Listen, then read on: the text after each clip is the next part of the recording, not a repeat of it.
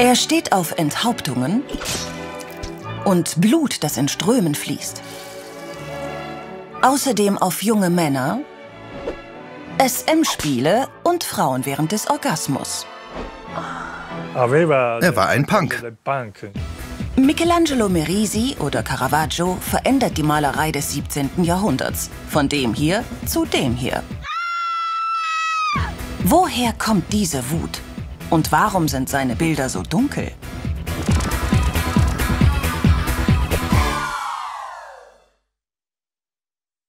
Um Caravaggio zu verstehen, reisen wir in den Norden Italiens, nach Verona, der Stadt der Liebenden von Shakespeare und Milo Manara. Milo ist der Erotikpapst der Comics. Er hat etwa 50 Bände veröffentlicht, darunter zwei, die seinem Lieblingsmaler gewidmet sind. Hat Caravaggio dich als Zeichner inspiriert? In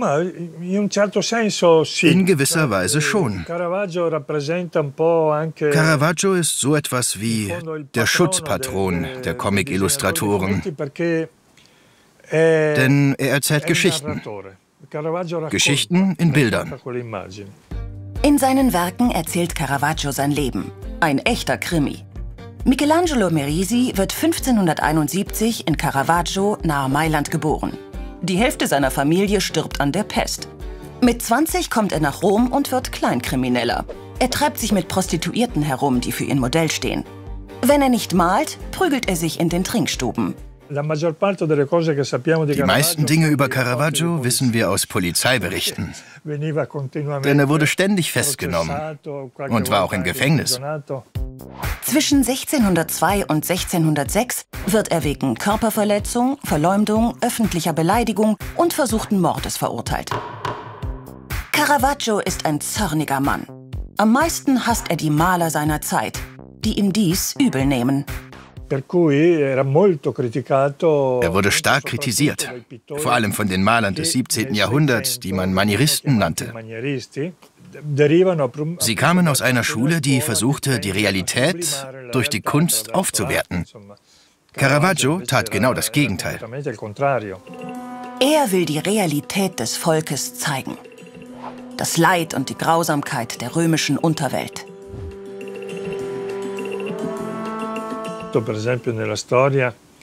Für sein Bild der reuigen Magdalena nahm er als Modell eine junge Frau, die tatsächlich gerade ausgepeitscht worden war.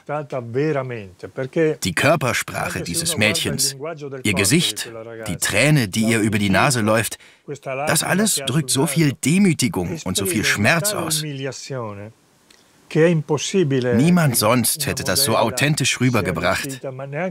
Selbst eine professionelle Schauspielerin hätte eine so intensive Demütigung nicht darstellen können.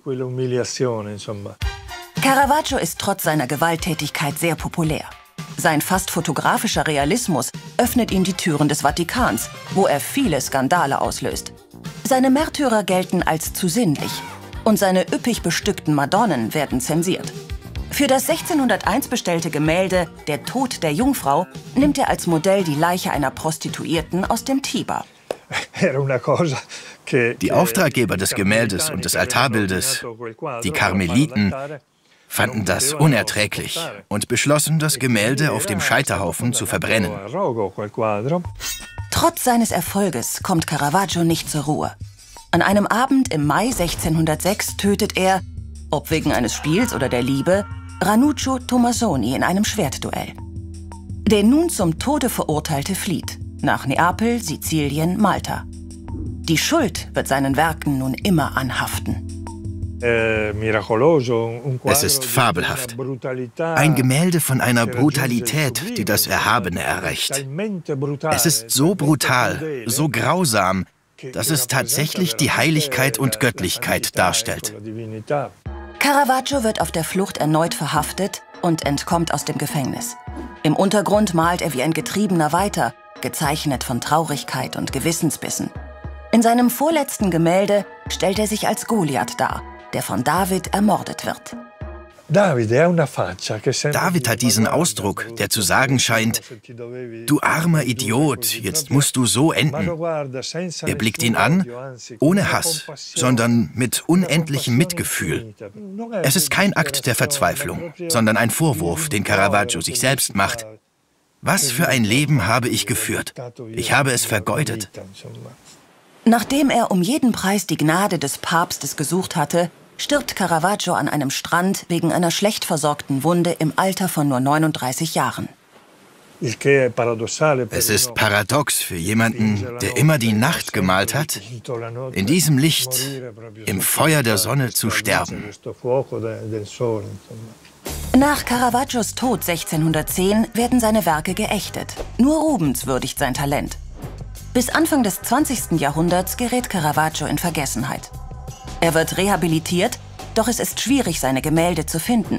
Von hunderten Werken signierte er nur eines mit seinem richtigen Namen, Michelangelo Merisi.